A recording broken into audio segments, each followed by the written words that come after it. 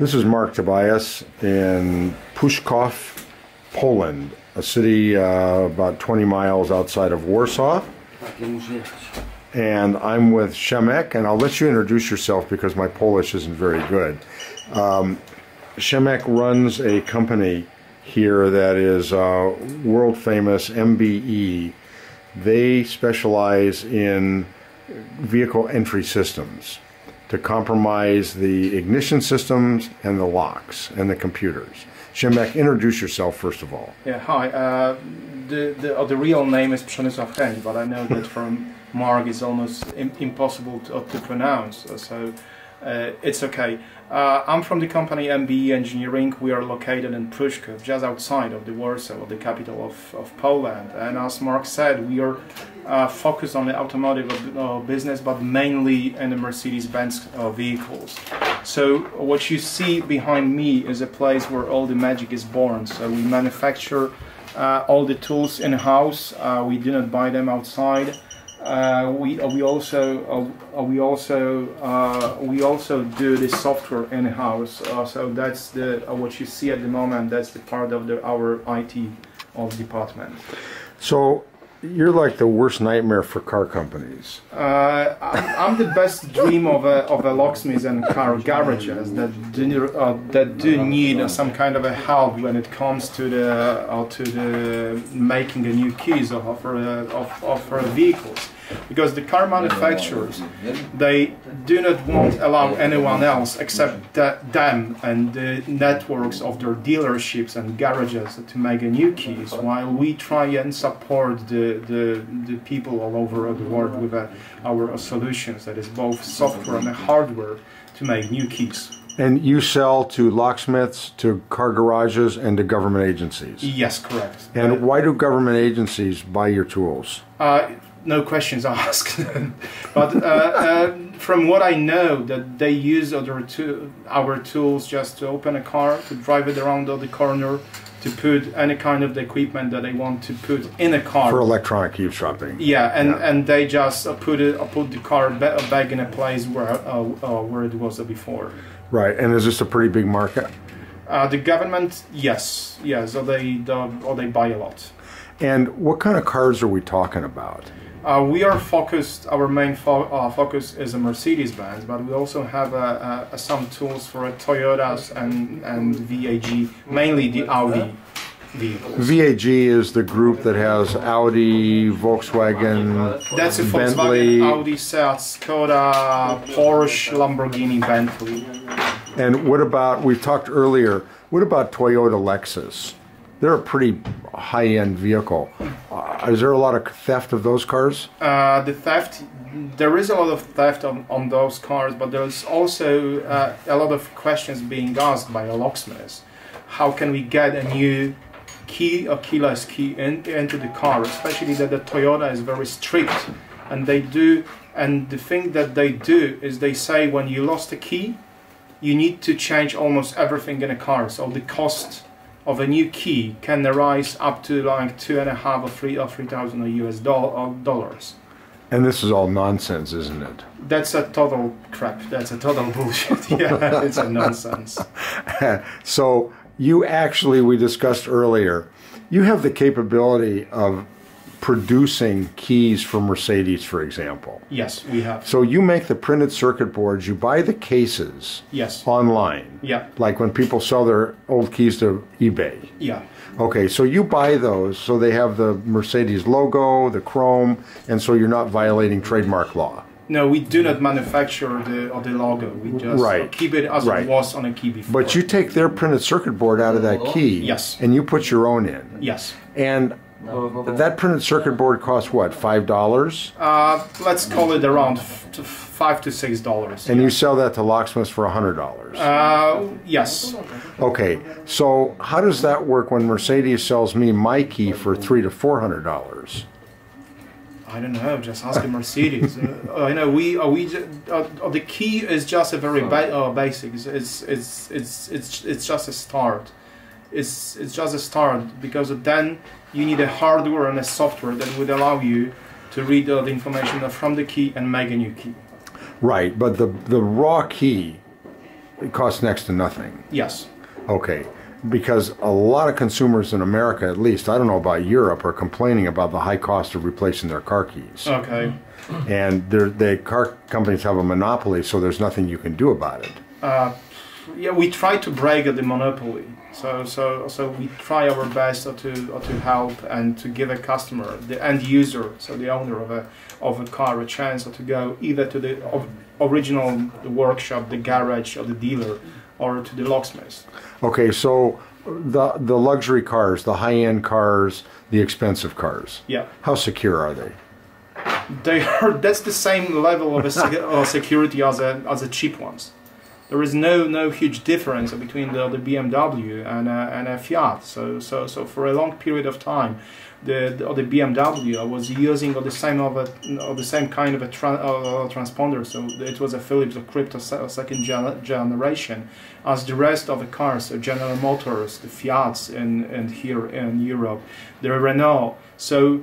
Uh, basically the car manufacturers they stick to the few manufacturers of a transponders so the microprocessors on the, mar- on the market and that's it everyone wants to lower a cost the, the, or the high-end car as we talked before so also even on the bentley uh, the thing that they do, they know that to prevent the stealing of a car is almost impossible. So they just put a few GPSs or locator on a car, all across the car, even in a fuel tank, just to help out to find a vehicle, because it's almost impossible to stop the vehicle from being st- stolen. And there is no difference between the high-end luxury cars and the low-end cars. And your company makes some pretty sophisticated little pick tools. The trick is A, you got to get into the car. Yes. And once you get into the car, you can plug into the data port or the in, in the case of Mercedes, the ignition system, and then you can decode what you need and generate keys. Is that Uh, correct? In general, yes, yes, it's And correct. let's talk about Mercedes, BMW, the high-end cars. Okay. How long to get into the cars covertly? Uh, I would say that up to one minute is it's a max. Maximum. Yes. And minimum? The minimum, if if you, if you are skillful, I would say that 10 to 15 seconds. And you're in. Yes. You stick the little lockpick into the the decoder On, into on the some cars, so you can even read all the information when uh, uh, uh, when the the owner of the car is leaving of the car. It's or he locks of the car with his own uh, uh, remote, or you can read all the information uh, from the key, and you don't need to stick anything into the lock. So you simply go uh, go into the car. Uh, you have a copy of, of his key, and you open a car, and that's it. So, in other words, it's largely a myth that there's any real security in protecting cars from being stolen or entered. Is that a fair statement? Yes.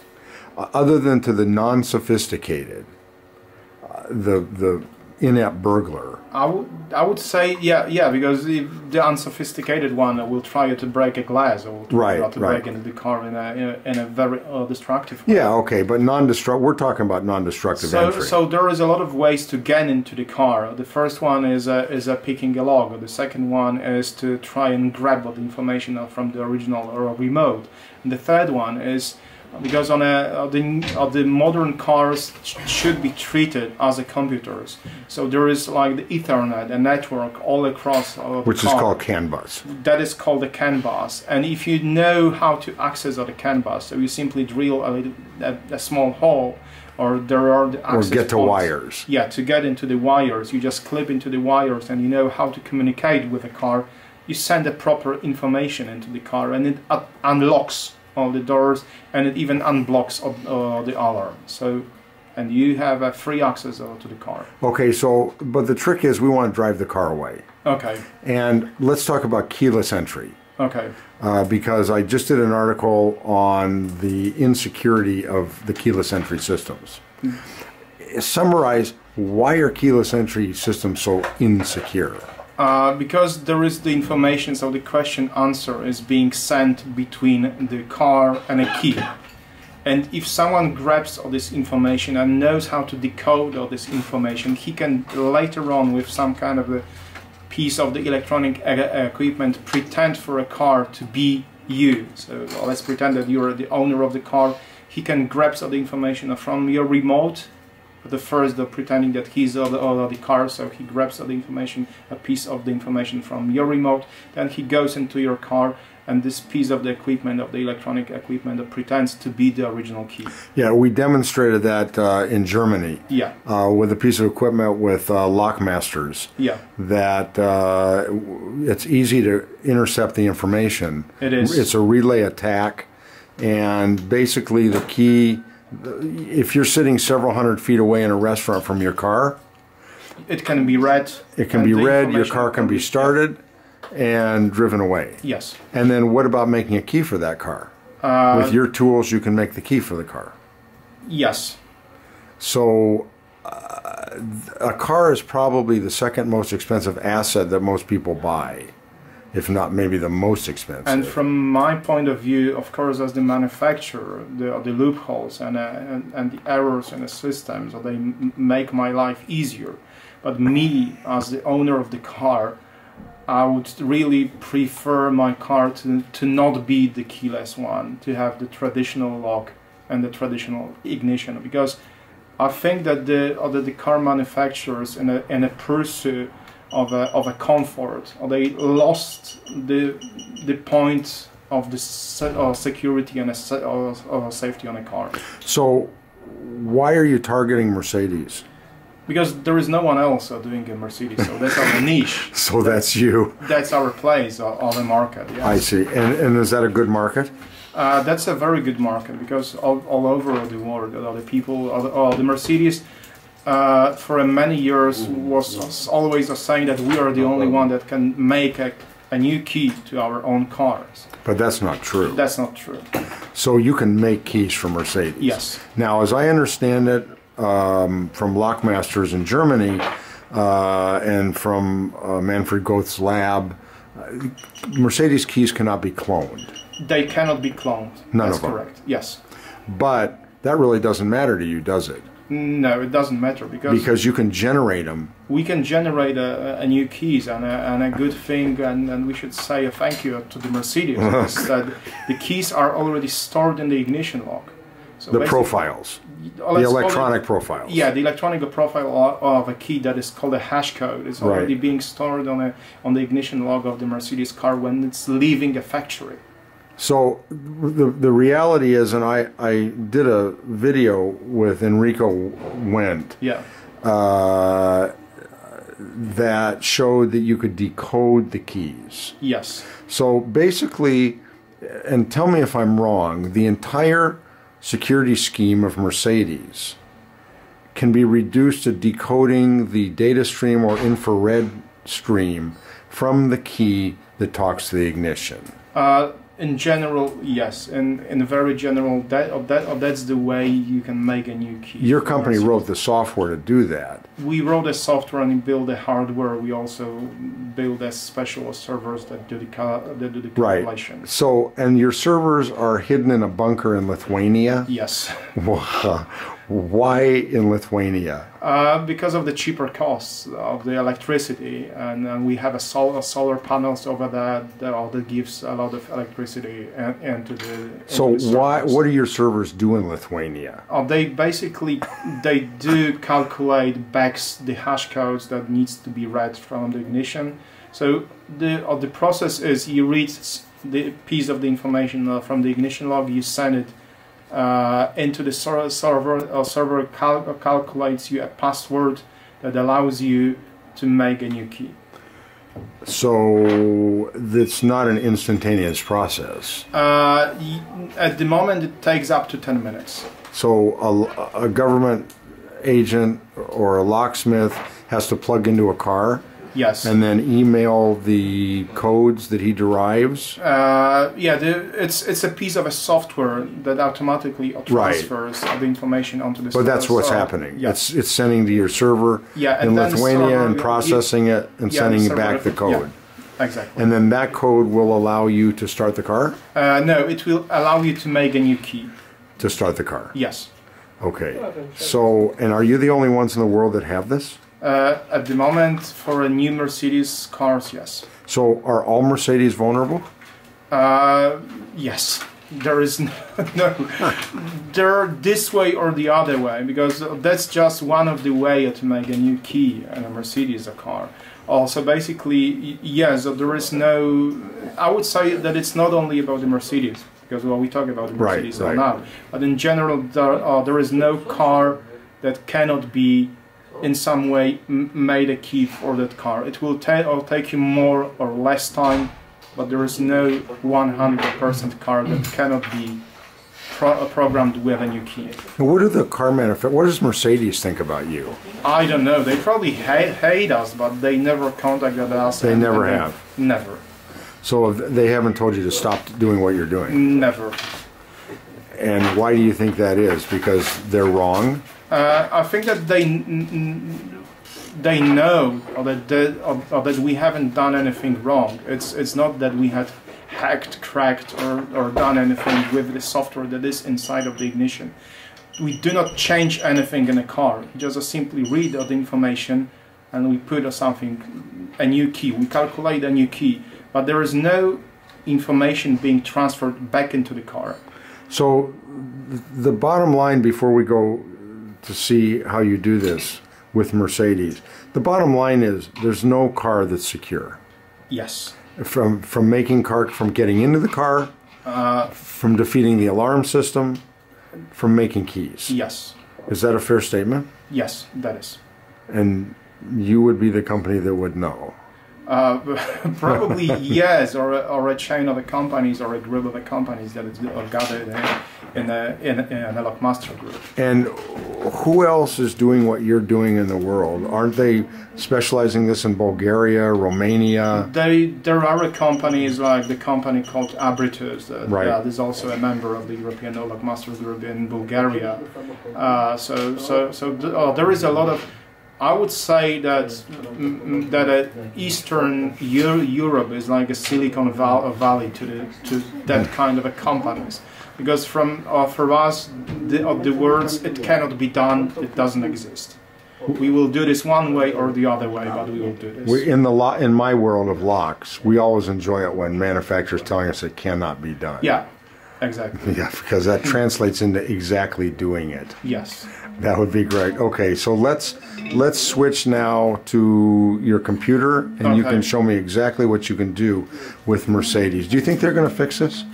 Uh, I don't think so, because it would require a really, a really a lot of mo- uh, money put into this. Uh, the Mercedes knows about it for a lot of, for at least a ten years. And they haven't fixed it.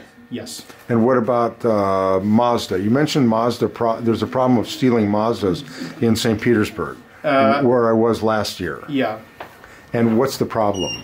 Uh, the problem is that the security level is, is very low. So also or you cannot simply uh, make a new key like in, in 10 to to 15 seconds So with a simple, very simple uh, uh, uh, device uh, that you just plug into the or, or, or BD so- uh, uh, socket into the car, and that's it. And no Mazda and no one in Mazda haven't done anything. I know that a that a newspaper had contacted a, a, a Mazda distributor in, in Poland, but they said that the problem does not exist.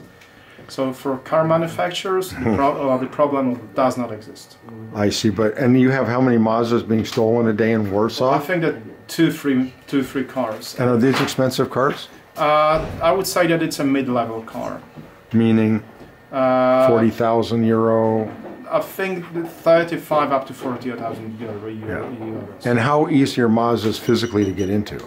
Uh, I would say that the 15 20, or 20 seconds. And that's Yeah. it? Yes. So what's the hardest car to get into? What's the hardest car? to Yeah, what's the most difficult? What's Bentley? Uh, no, it's it's the HU66. It's a it's a it's a Volkswagen lock. So so, so, so Right, and Uh, all, all of the VAG group uses the same locks. Uh, till 2015, yes. At the moment, they are slowly changing the locks on a, on the new vehicles. I see. And so all of the VAG group is vulnerable. Uh, Mercedes are vulnerable. I, I would say that the less popular of the car the, probably the, easier it is to get into the car. So uh, because all the biggest manufacturers like the General Motors, the Mercedes, they use the same kind of a lock all over the world. So, so it's not that they use it only in Europe or in Right. the US. So Oh, it's the same platform. Yes. So, uh, is there? Is there? You drive a Skoda. Yeah. It's not secure. It's not unfortunately. No, I mean one of my colleagues in in uh, England developed a decoder for that a long time Yeah. ago. They're easy to open. yeah. I- If you were going to buy a car that was secure, what would you buy? Uh, I would uh, I would buy a car and modify it by myself. So, if you modify it by yourself, so it's not so it's not being a serial manufacturing, then you can say that it's a safe car. So if you change a lock by yourself, if you change all the systems in a car by yourself, then you can be pretty sure that, that no other will steal all your car. and car theft's a big business in Europe. Uh, I think that it's uh, uh, it's big in Europe, but I was in Australia two weeks ago, and they said that they also that is also a, a big market in Australia. Although I was shocked because it's an island, but they said that they send that they steal and the cars are being shipped to the Middle East or, or, or later on. What about Russia? Uh, the, oh, the Russia is a big importer of a car. Also stolen cars. Yes. Yeah. So, but the car companies are putting like triple GPS systems. Uh, yes, some The some- Russian, the European, and the American Yes. GPS. Yeah, but those are the high ends, so it's like a Be- Bentley. a Right. Bentley. So that at least they can find where they went. Yes, Not that they may be able to go get them, but they can find where they went. exactly. So there's really no car that you would recommend to consumers as far as the security side. Uh, unfortunately, no, not because at the moment I don't see any car manufacturer that is really trying to to to make it really hard for a thief to steal a car. And at the end of the day, why should the consumer care if insurance pays for the car to be stolen? Uh, because usually uh, you paid a hundred US thousand dollars per a car, but the insurance will, uh, will never give you back that all that money because they will say, okay, your your car was a year old, Right. so the value is like a 75, so you always lose. There's a TV advertisement in America about car insurance. My car is one day old, and they only give me three quarters of the value of my car. Exactly. Right. Yes. So okay, so let's go. Let's go see now how you do this. Okay. So Shemek, we're in a different part of your laboratory now. Uh, yes. Um, there's two components that have to be defeated in a Mercedes, for example. Uh, But- when, but- uh, I'm, I will just interrupt you and, and, and, and uh, I will say a few things about the immobilizer system in the Mercedes as it is. Because, uh, in a, for example, in a Volkswagen Audi group, the immobilizer or system consists of the ECU, so the engine control unit, Okay. uh, the dashboard, and a key. In a, in a Mercedes-Benz cars, uh, the, immobil- uh, let's, uh, the immobilizer uh, system is made also of a triangle, but it's the steering lock. That's a steering lock from, uh, from a, a Mercedes-Benz a 204 or 207 or 212. Uh, that's the ignition lock, Okay. and this one is from the new A class or B class, and it's from a key. Okay. So those three parts needs to work properly if you want to start a car. The most important thing for us uh, when you want to make a new key is the ignition lock and a key. We don't care about the steering lock as as I told you before, we do not change anything in a car. Right. We simply read all the information from the ignition log. We calculate all those information. We store new information on a key, and that's it. But you have to get past the steering lock in order to turn. If you yes, if you if you have a key in your car and you go into the car, you put the key in the ignition lock. Right. At the moment when you put the key in the ignition lock, the information is being set to the steering lock. Right. So if the key is not authorized to start the car, you, it won't unlock the steering lock. Right. Then the information goes back into the ignition lock and you can start the car. Yeah. So the first uh, signal in the Mercedes goes from uh, from the ignition, not into the ECU. So it does not allow you to start the car. But the first information goes into the steering lock and then goes back into the ignition lock. Right. So, Okay. So tell me how you do this. Uh, how we do this? you need to use your imagination, and let's pretend that that's the car. Okay. So uh, you simply take your laptop or tablet because the software runs on a on a on a Windows-based tablet Right. as, as well. So you simply go into the car. Uh, you, uh, you take a piece of a hardware that looks like this. That's the USB cable, and that's Yep. the key. With the infrared port on the key. With the infrared port on a key, Right. you go into the car, you you plug it in, Yep. And you run a software that reads all the information from the ignition. I will try to make it more, more visible. Okay. So now you just simply read all the information from the ignition.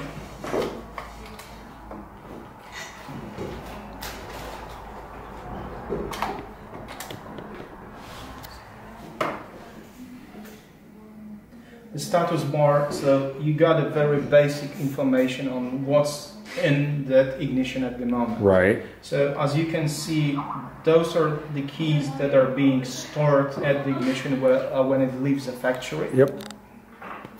Okay. because we had played a lot with this ignition or usually The, when key, you, the keys, eh, the code's in green. uh, no, the, the codes are green so it means that those positions were never used Right. So those are, uh, uh, let's call it the virgin uh, places for, Right. uh, for keys. The blue one, it means that this is the key that is working and was working on that car. Right. And, did, and in, in this position. When you go to any new car, you always have uh, two keys uh, programmed in. We had erased all this ignition, so it has only one key, and that's the key. Right. So uh, what you need to do at the moment, you want to grab of the information from that ignition log that you would be able to send into our ser- server. So you copy the SSID, or that's like the uh, the identification on, or number of that ignition, and the SSID is always uh, stored on a key. So, so, so this way you can tell if that's the key from uh, from that car. Right. So you go into also into our software, you, or you copy the SSID. And you derive the SSID from. Uh, from the ignition. Right. Yeah. So you read it back. Yes. So we read it back, and now we simply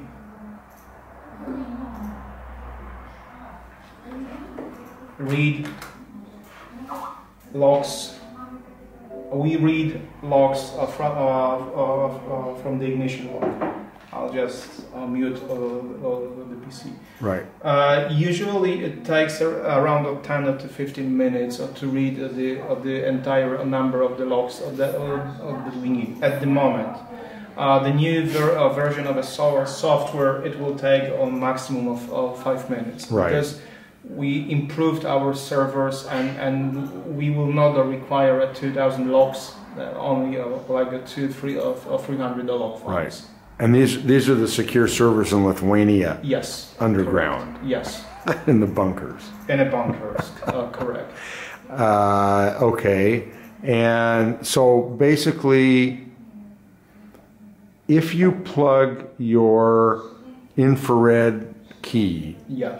Into the ignition Yes.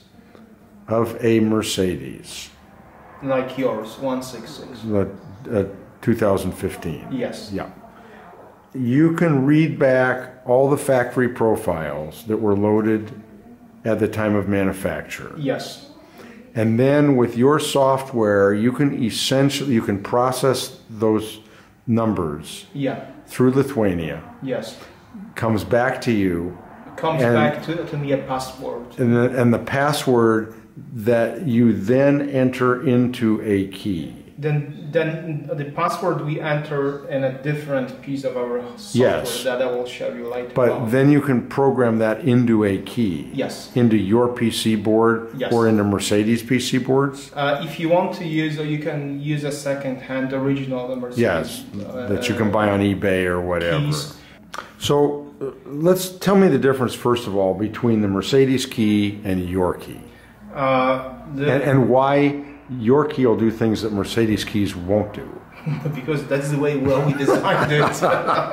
that's the easiest. That basically you can't write to a Mercedes key through the infrared port. Is Uh, that the- correct? yes, the main difference is that our keys that you can read, write, erase through the infrared port using our own uh, Right. device. When you have the original second-hand Mercedes key, you, you need to open it, and you can write, read, and erase it, but only directly working with a NEC processor. So that's why we also have that small pieces of a hardware that you either solder a NEC processor into it, or you just simply put it in here.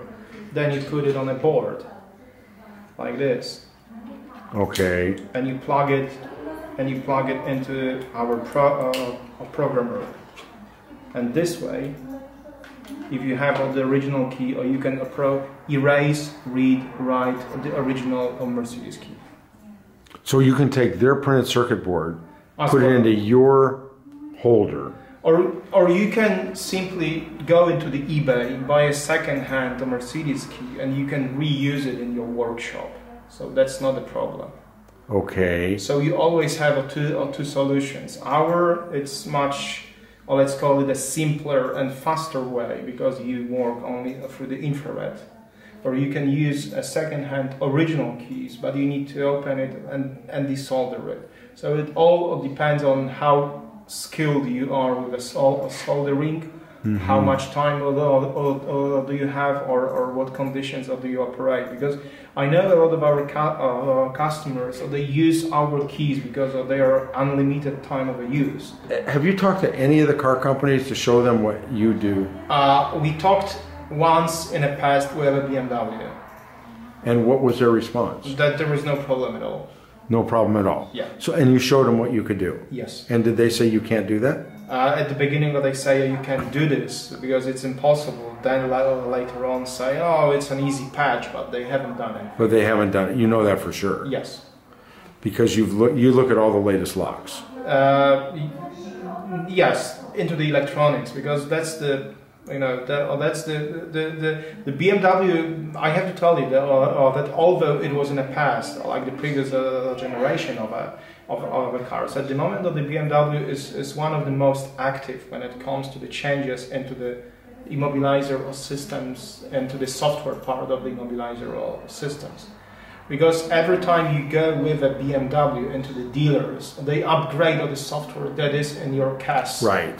So, so, uh, so they are. I would say that the BMW is the one that is trying to do something about it in a very proactive way. But when I was at the lab in Germany in September with Manfred Gove, he showed me, and Enrico Wendt showed me that BMW probably had the most data contained in their car keys that you could read also. Uh, at the moment, the Mercedes, yes, but, but at the moment, the Mercedes had also joined, let's call it a join them, because in your in your ML key, uh, you got the information GPS location at the time, but you got also the information on like a level of the fuel.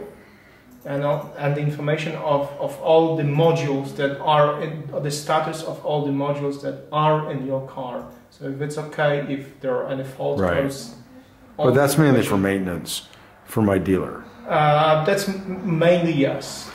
So basically, to summarize, you need to get into the car first or get access to the CAN bus To by do- yeah. accessing wires through the side view mirrors, drilling a hole to get Yes. to wires to get data. Uh, yes. And the tools, be, before we go open a car, the tools that are sitting on the desk there, Yeah. uh, the decoder tools, Yes. hold one of them up And let's describe it. Okay. So so So, that's a hold on. tool for a BMW F series. Okay. And what does this allow you to do? It, it basically allows you to to open a car, and uh, you simply uh, go into the car, you put it into the into the lock, you you open all the protection part, also, Right. also you open all the tumblers, so there goes in the contacts into the ignition, and and and the lock. so, sorry.